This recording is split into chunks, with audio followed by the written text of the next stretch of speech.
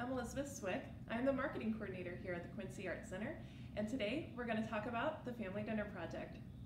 So, the Family Dinner Project is a nationwide program that emphasizes families to get together and connect around the dinner table.